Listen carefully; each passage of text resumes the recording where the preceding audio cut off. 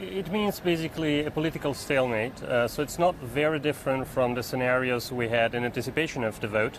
I think the only difference is that there are now tail risks which uh, could materialize around, uh, let's call them spurious coalitions, which the market is not necessarily pricing in. So I think this is why markets are a little bit nervous this morning. Let's talk about the spurious coalitions, to use your term then. Uh, can you explain? I'm guessing in that scenario, what you do mean is Five Star partnering up with Lega, but you can explain that to me. But more specifically, what do you think spreads can do in that scenario? How, how wide can we go?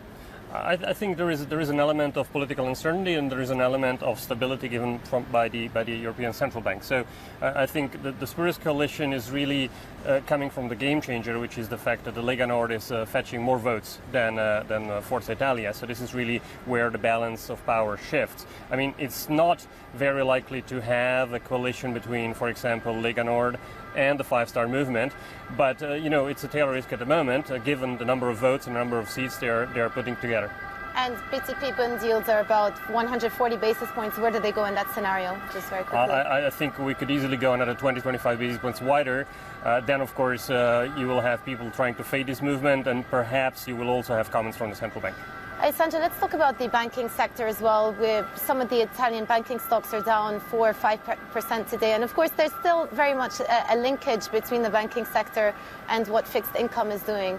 But overall, the banking sector in Europe has started to look a little bit better, and the non performing loans as a part of portfolio has started to come down. So, uh, how do you think the banking sector actually evolves from here?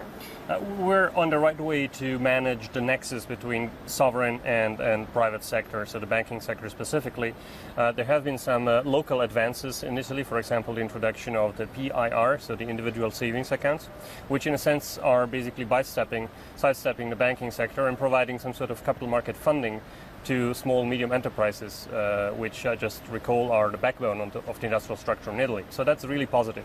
There's also an argument about deleveraging. As we know, um, there is a big hype now about uh, the non-performing loan sector.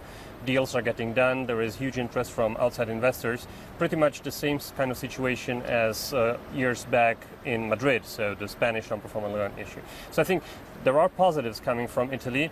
Uh, of course, the political uncertainty is weighing uh, heavily right now as the banking sector is still tied with the sovereign.